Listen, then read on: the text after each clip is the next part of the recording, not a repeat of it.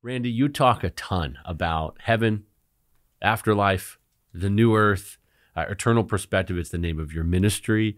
And a lot of your books have helped a lot of people. I heard you say something recently. You said you don't need a bucket list. I just thought that was such a great statement. Would you unpack that? Why don't Christians need bucket lists now? Yeah, well, what's what's the idea behind a bucket list? It's to get to do something that we will no longer be able to do once we die. Hmm. Well, for most Christians, the thought behind that is that we won't be real human people living on a real made for humans earth. Uh, ever. You you go through life once. Well, actually, you go through life on Earth twice, and the second time lasts forever. It's the new Earth. The present bodies uh, are our old bodies that are going to be made new. We're promised that. And we're told that our bodies will be like Christ. What was Christ's body like? Well, he said, Touch me, handle me. Uh, I am not a ghost. A ghost does not have flesh and bones as I have. So we will have flesh and bones. It, our bodies will be like his. We're told that. Okay, well, where will we live in a flesh and bone body? Well, if we just go up and drift around in an angelic realm of disembodied spirits, um, then of course you wouldn't be able to do any of those things on your bucket list in the world to come.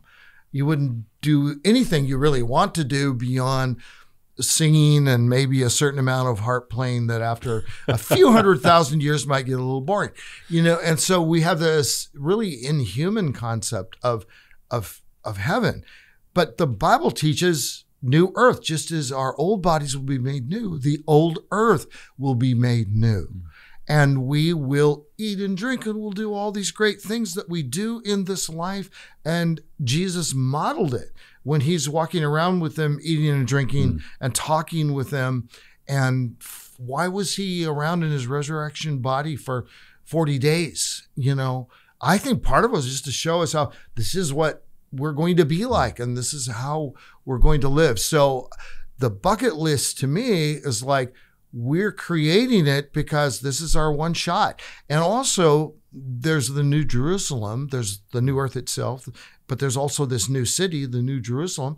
Well, then doesn't that mean there will be other new places? Will there be a new Lake Louise, a new ah. Lake Victoria, uh, a new Mount Kilimanjaro, mm. um, a, a, a, new uh, Phoenix, a new Portland, Oregon, a new, you name it, anything and everything? Why not? And so many of the places, I mean, Nancy and I would talk about, we have friends that uh, we stay with uh, over in Maui, and she do you think there'll be a new Maui? And I go, I, I, think there probably will be. But whether there is or not, it will be a world where we will be able to do things and write books and read and talk and serve and uh, do all kinds of play sports, all kinds of stuff. So you don't have to, this bucket list. I mean, the only thing on a bucket list that for sure we would know uh, we wouldn't be able to do in the world to come would be anything involving sin, which hopefully is not on your bucket list. well said.